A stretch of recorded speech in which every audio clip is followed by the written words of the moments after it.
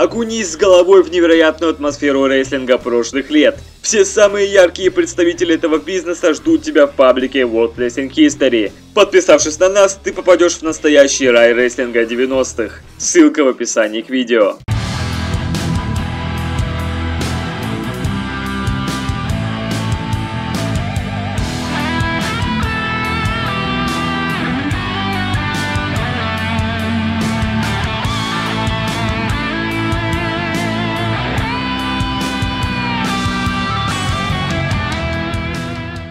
Салют всем любителям рестлинга! С вами Джеки и это новая часть проекта 100 лучших матчей WWE. Погнали! Номер 71. Крис Бенуа и Курт Энгл против Эджа и Рэй Мистерио. 20 октября 2002 года. Шоу No Mercy. Совсем недавно мы вернулись к схеме, которая работала 14 лет назад. Разделение брендов, вследствие чего необходимость создания эксклюзивных командных поясов для Смакдауна.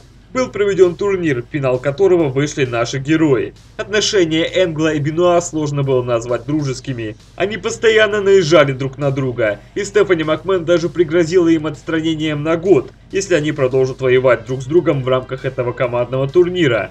Матч получился просто феноменальным.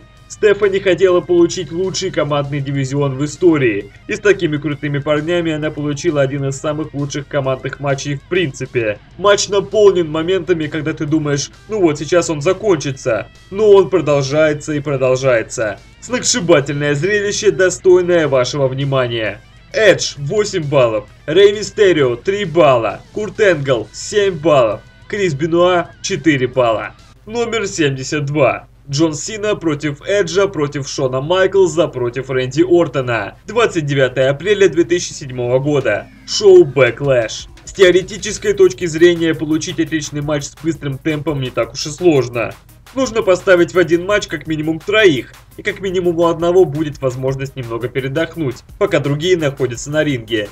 Данный четырехсторонник как раз из этого числа. Конечно, самые горячие моменты возникают, когда все участники матча на ринге, и таких моментов здесь тоже предостаточно. В целом тут не наблюдалось какой-то сверхэмоциональной истории, но для того, чтобы показать хороший бой, она далеко не всегда нужна. Отличное сочетание настоящих звезд рейслинга, скорости и многочисленных приемов и комбинаций. Все как мы любим. Джон Сина 11 баллов, Рэнди Ортон 5 баллов, Шон Майклс 13 баллов, Эдж 9 баллов.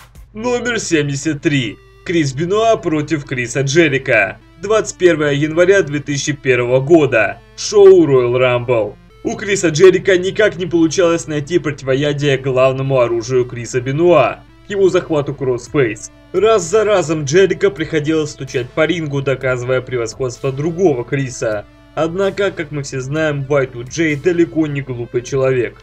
Он сумел уломать Бенуа на еще один титульный бой, на лестничный матч. И знаете, матч действительно строился вокруг этой самой лестницы. Сейчас можно увидеть много поединков, где совершенно непонятно, почему, например, рестлеры дерутся в клетке, или за каким хреном в бой добавили столы. Ответ на этот вопрос просто так. Но в нашем случае все было объяснено с более чем логичной стороны. Короче говоря, если вам нравятся лестничные бои, то это ваш идеальный вариант. Крис Джерико 9 баллов, Крис Бенуа 5 баллов. Номер 74. Миз против Сэмми Зейна против Кевина Оуэнса против Сезаро. 22 мая 2016 года. Шоу Extreme Rules. По сути, можно сказать то же самое, что было ранее. Только, как ни странно, мне этот бой понравился даже больше, чем то, что было на Бэклэше 2007 года. Сумасшедший темп матча, который был задан с самого начала, не прекращался до самого конца. На ринге собрались ярчайшие представители современного рейслинга и Мисс. Да ладно, чего уж я, Мисс тоже был неплох. По крайней мере, не особо мешал ребятам творить шедевр внутри четырехугольника. Если вы просто захотите посмотреть крутой матч, не особо запариваясь предысторией, то этот бой подходит вам на все 100%. Небольшой натяжкой, но могу сказать, что абсолютно все участники этого матча показали себя на все 100%. Кроме Миза, он процентов на 70, наверное. В принципе, тут все довольно очевидно, поэтому добавить особо нечего. Кевин Оуэнс 3 балла, Мисс 1 балл, Сэмми Зейн 2 балла, Цезара 2 балла. Номер 75. Халк Хоган против последнего воина. 1 апреля 1990 года. Шоу WrestleMania 6. Ни для кого не секрет, что Халк Хоган в жизни, мягко говоря, не очень хороший человек. Знающие люди давно уже не верят этому супергерою вселенной Винса Макмена. Однако представьте себе, что вы скажете что-то подобное людям из 80-х. Вас просто не поймут и посчитают идиотом. Как можно усомниться в истинном патриоте и стороннике правильного образа жизни? Ходит много историй о том, как эго Халкстера не позволило проявить себя самым талантливым рестлером Всемирной Федерации. Однако последнему воину повезло. Это был, пожалуй, самый важный матч в его карьере, и он в нем показал себя с самой лучшей стороны.